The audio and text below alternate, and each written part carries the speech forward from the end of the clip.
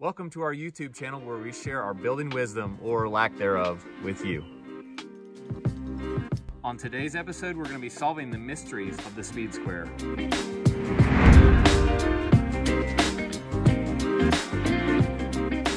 I to emphasize how important of a tool this is to have in your tool belt. Uh, it's so important that I actually have a backup, uh, and it's not a great one, but it's a spare just in case something happens. Uh, so whether you're the cut man, whether you're the layout man, whether you're the guy installing, you need to check whether stuff is square uh, to your plates. You got to have one of these in your belts. And if you don't, you're almost worthless. In fact, if you only had these four items in your tool belt, you could do most carpentry jobs, no problem. Hammer, pencil, tape measure, speed square, well, and that. Uh, see, next in order, I would go utility knife, uh, chalk line is a must, uh, hot sauce and that kind too.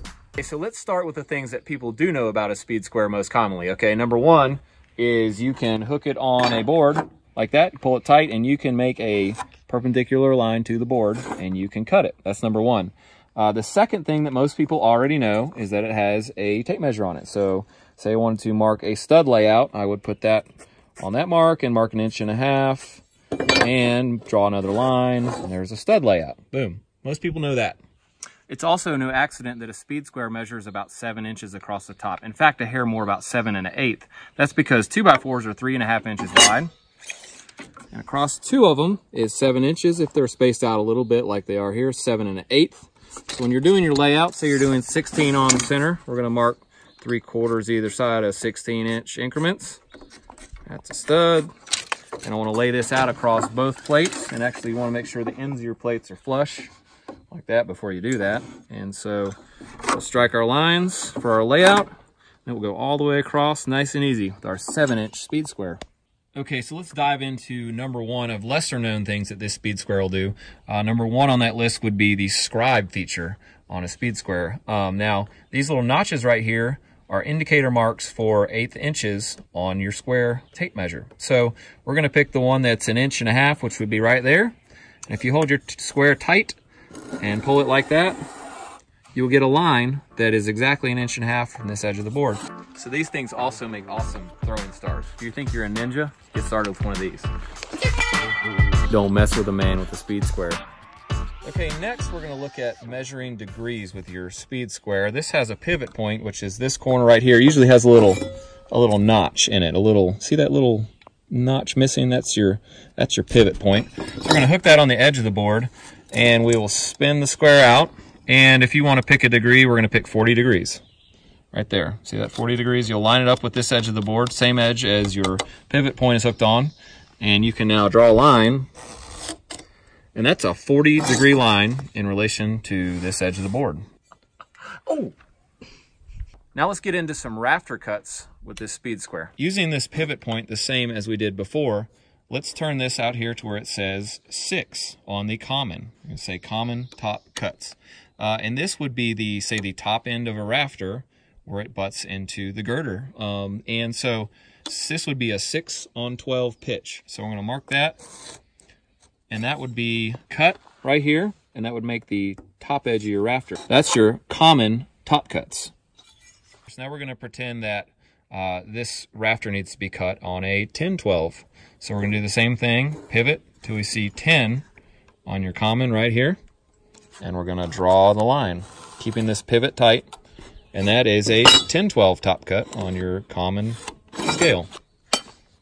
And of course, if you want a 45 degree angle or a 12-12 pitch would be the same thing.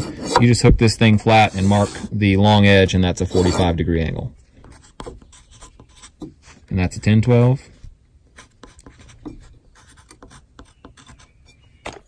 Now we're going to look at this hip valley top cut scale right here. Now this is for the top end of a hip rafter.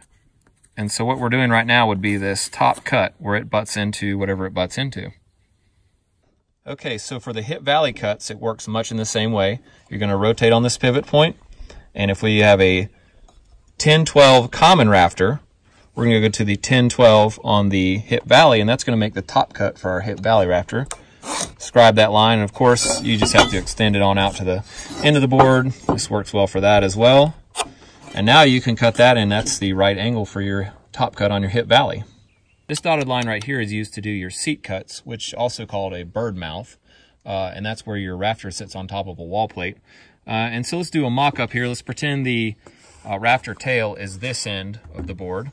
And uh, I know the measurement to the outside of the wall plate on the bottom edge of this rafter. So I'm gonna mark that point and say this is a 712 pitch rafter. So we're gonna mark on seven and I've drawn a line here. And it can be long, it doesn't matter. Um, and that's the vertical line of this bird's mouth when we're setting the rafter. Now we're gonna use this seat cut feature. We're going to line up this dotted line with the line we just made. You can see how that lines up and make a line back across here. Now that's a bird's mouth for a 712 pitch on a three and a half inch wall. And actually your wall plate is going to be right there.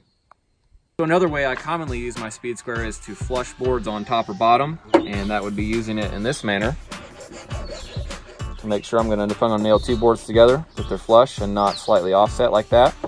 Bump till it's tight. Nail it. Speed square board, you don't have to draw a line. Give yourself a nice straight edge.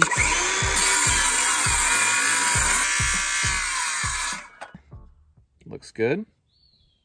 Your square to run the base of your saw on it. Make sure your fingers are out the way, guys. Don't hold your square like this. Hold it way out here. And that's actually the better place to hold it anyway. Do not hold it there. Right here, fingers way away. Sometimes you have to remember the measurements of a lot of boards and then walk to a cut station and cut them. That's when the speed square comes into play. I need to cut a board 101 and a half, I just write it on here. I need one 102 and an eighth, I write it on here. And when you're done with them, little lick, and they're gone, ready to go again. So that's a really uncommon use, but I do that all the time so I don't forget stuff between where I'm working and the cut station. Okay, so I know that my speed square is 3 16ths of an inch thick. If I'm setting windows or doing something where I know I need a 3 16th shim, I also use it for that. That's great for that.